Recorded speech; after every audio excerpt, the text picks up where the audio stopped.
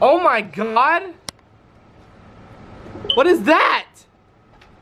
Your hair, Jesus Christ. Anyways, good morning everyone. This is a vlog. Alright guys, so today's vlog is probably gonna be very, very short because not a lot has happened. I've been watching my dad eat some hot sauce.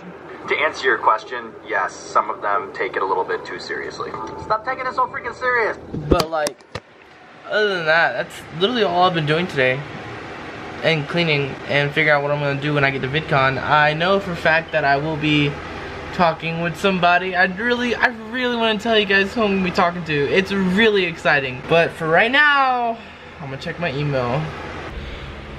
What's up guys, I know this is really abrupt and I shouldn't be posting anything like this on the internet, especially with it just happening recently, but um, I think it's the best time to talk about it, and um, it might affect me, like, YouTube wise, because this is something that I didn't ever think would ever happen to, you know, someone that I knew.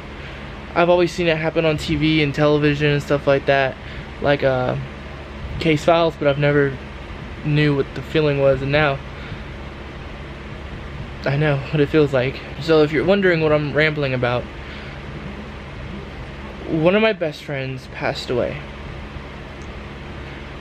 And their lives were taken on purpose.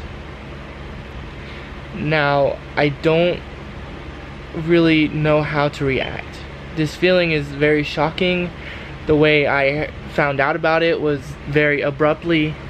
Um, and I'm not going to give out any names because I don't want to, you know, offend anyone.